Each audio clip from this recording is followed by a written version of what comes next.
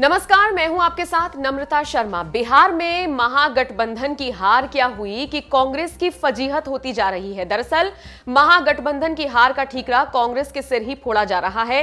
और सबसे ज़्यादा चिंता का विषय यह है कि कांग्रेस के ही बड़े नेता अब विवादित बयान दे रहे हैं। वो कांग्रेस में जिस तरीके की चीज़ें हो रही हैं, उसको लेकर अपनी नाराज़गी ज़ाहिर कर रहे हैं।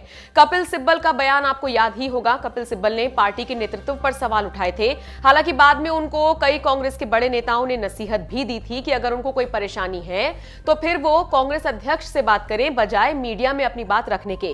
इन सबके बीच कपिल सिब्बल ने एक बार फिर से इंटरव्यू दिया है और देखिए, उन्होंने एक बार फिर से पार्टी के नेतृत्व पर सवाल उठाए हैं। उन्होंने ये कहा है कि दिक्कत यह है कि राहुल गांधी डेढ़ साल पहले यह बात साफ़ कर चुके हैं कि वो अब कांग्रेस का अध्यक्ष नहीं बनना चाहते हैं। तो मैं बस यही जानना चाहता हूँ कि एक राष्ट्रीय पार्टी, राष्ट्रीय अध्यक्ष के बिना क्या काम कर सकती है? क्या वो सही ट्रैक पर बिना अध्यक्ष के आगे बढ़ सकती है?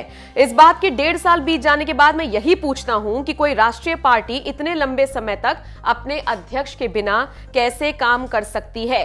फिर कपिल सिब्बल ने यह भी कहा कि जो मुद्दे होते हैं पार्टी के अंदर के, उनको हम किसके पास लेके जाएँ?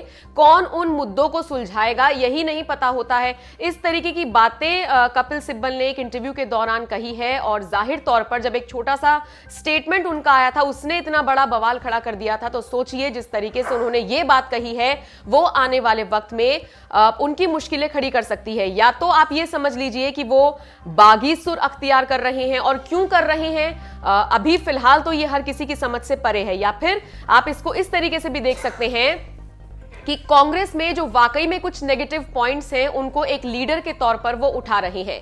बहरहाल, कपिल सिब्बल जिस तरीके से बार बार कांग्रेस के अंदर की जो कलह है, वो जग ज़ाहिर कर रहे हैं। उसको लेकर आपकी क्या राय है, हमें ज़रूर बताइएगा।